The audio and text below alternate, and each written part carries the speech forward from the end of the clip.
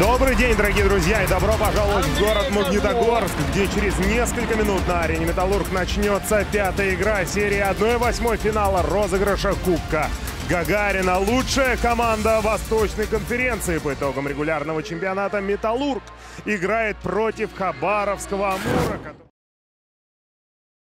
За лицевой линии Хохлачев делает передачу. Хохлачев 93-й, Бродхерст 25-й, Дроск 44-й номер. Бросок от синей линии на Боков.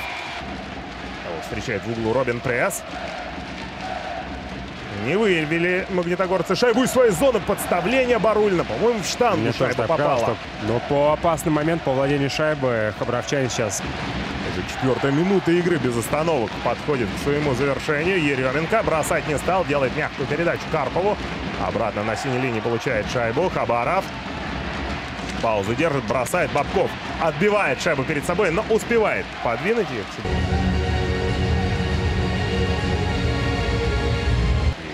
Вперед. Самый результативный защитник Металлурга. Да, отлично. Я уже несколько раз отмечал, что этот защитник постоянно ищет линию для броска и доводит шайбу И до вот ворот. сейчас пресс делает передачу. Хорошая игра и гол.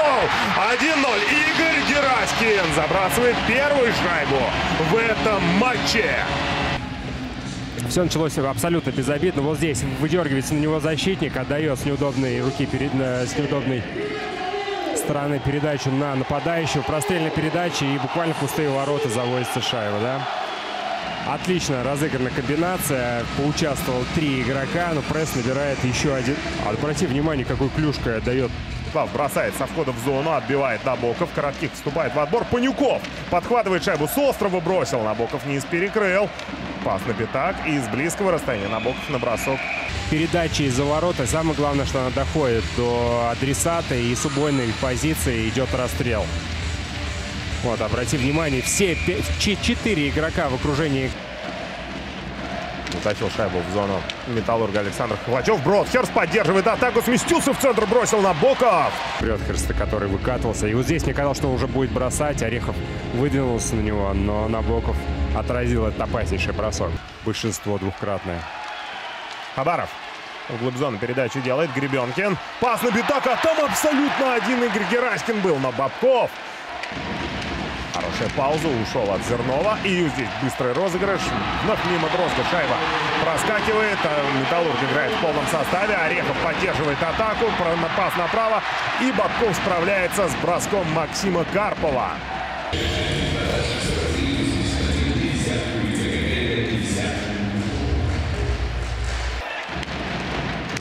Право делает передачу. Хохлачев коньком шайбу себе подыграл, бросил. Среднюю зону проходит Металлург Канцеров. Готовит бросок и бросает, и забивает Роман Канцеров. 2-0. Вот Обрати внимание, вот эта длинная передача поперек. Канцеров получает огромное количество свободного льда.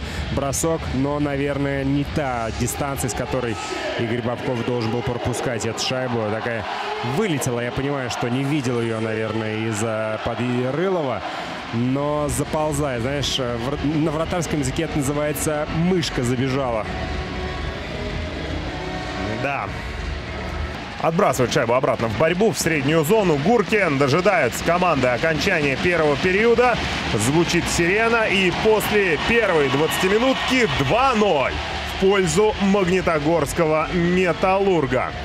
Ну, мы проанализировали нашу прошлую игру, э, поняли, что соперник играет глубоко в зоне, поэтому мы нашли способ преодолеть их оборону, э, играем в давление, они ошибаются, и у нас получается забивать. На что сделать акцент во втором отрезке? Продолжать навязывать свою игру, э, слышать поддержку болельщиков, ну и продолжать играть. А, пятая игра имеет очень важное значение, особенно для Металлурга. Чувствуется ли это напряжение? Да, конечно, все понимают, что плей-офф – это ответственные матчи, но э, выходишь на лед, пропадает мандраж, понимаешь, что должен делать, играть свой хоккей, делать свою работу и побеждать. Шайба на левый борт. Михали здорово подстроился на синюю линию. Прессу делает передачу. Робин на лицевую. Карпов! Резкая прострельная передача. Выскакивает шайба на пятак Зернов. Надо выкатываться и не давать этому защитнику много времени. А вот в этой ситуации он отдал передачу на Карпу. На пятак ему выкатиться не дают. Гребенкин доехал до синей линии. По-прежнему шайбу контролирует. Ушел от Барулина, от Бочарова, от Мищенко. И вот здесь на ближнюю пошел на Бабков. Еременко. Слишком сильная передача. Коньки Михайлис. Шайба прилетела. Бродхерст. Есть возможность до броска дело довести. Бродхерст бросает на Боков, выручает. Михайлис. Достаточно места, а это опасный момент Бродхерста. И Хохлачев, кстати, вот мне с игры показалось, да, что Хохлачев держался за лицо, но там, так понимаю, что не зафиксировано было ударение. Вот, а, здорово сыграл. А это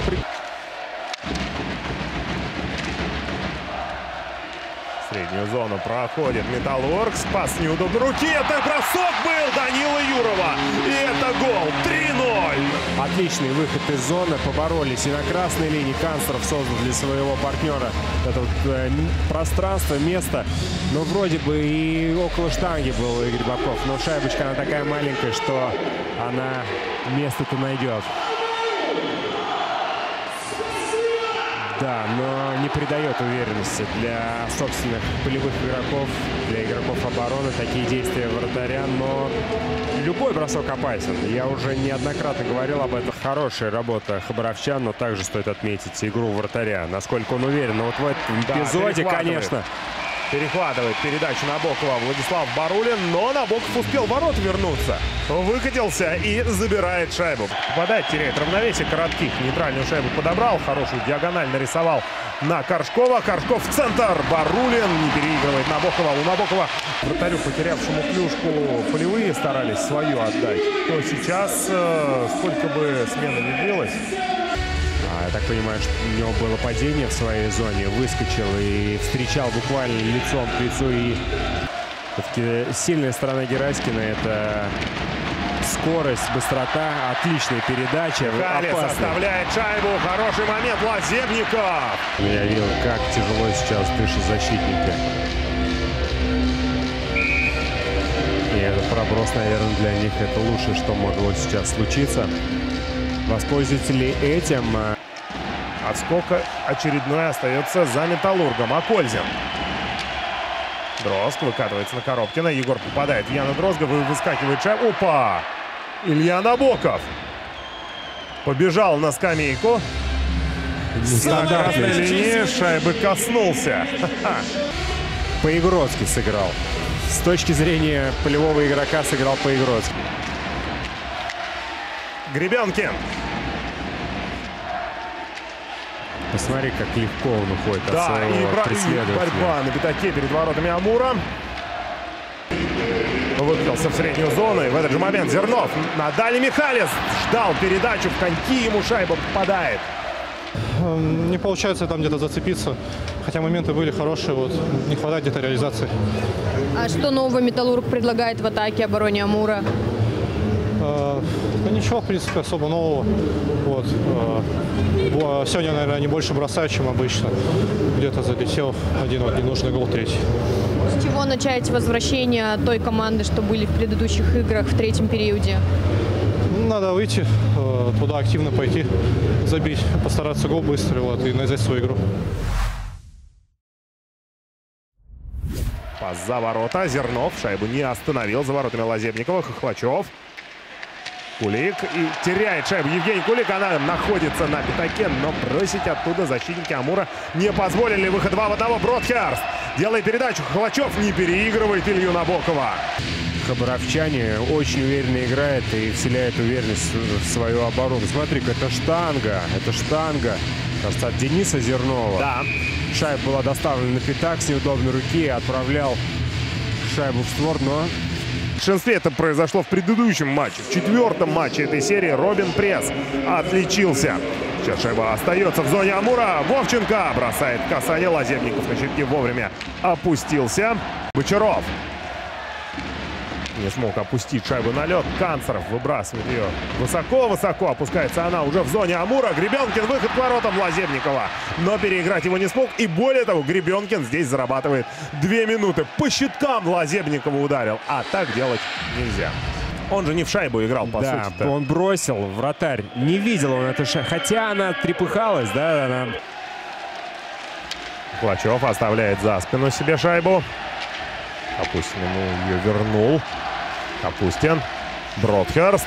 Проходит передача Яну Дрозгу. Дрозг держит паузу. Оставляет Бродхерсту. Тот на синюю линию. Гуркин. Бродхерст. Бросок добивания. Гол. Ян Дрозг. 3-1. Амур сокращает отставание в счете. Первый гол в большинстве хабаровчан в этой серии. Вот Бродхерст бросает. Даже, наверное, поставлена клюшка Кирилла Капустина. И Андроск с неудобной руки в пустые ворота отправляет шайбу. Вот, э, в замедленном повторе. Мы видим бросок, подставление, игра на добивание элементарно. И отметим также Яна Дрозга. Пятое очко в этой серии. Значит, готов даже с психологической точки зрения. Хороший момент у Амура мог, может возникнуть. Опять посмотрите, Евгений Кулик приехал к чужому пятаку, но Но это вот доставка, то, о чем я и говорил. Не хватает вот этой доставки на пятак, и там борьбы, поиск шайбы. Мнение, вот он сейчас шайбу контролирует. Бочарову делает передачу. Барулин выкатывается на дальнюю, делает пас. И Коршков пытался завести шайбу. Не по телеграм-канале Матч Хоккей. Стартовало голосование за самого надежного игрока. Ну а Магнитогорцев, в принципе, уже можем с тобой поздравить, наверное, с победой. Да. Дома для своих болельщиков они одержали довольно-таки убедительную победу. И после вот этой сирены ведут серии 3-2. Ну, все понимали цену да, этой игре, поэтому присутствовало волнение. Вот, и, а, игра, в принципе, не соответствует уровню нашей команды, скажем так. Но победа есть победа. Несмотря на волнение, переживания команды, сегодня впервые за всю серию выиграли первый и второй период. Что этому поспособствовало? Ну, мы действительно обращали внимание на это, говорили ребят, ну, ребятам, хорошо, что получилось выиграть.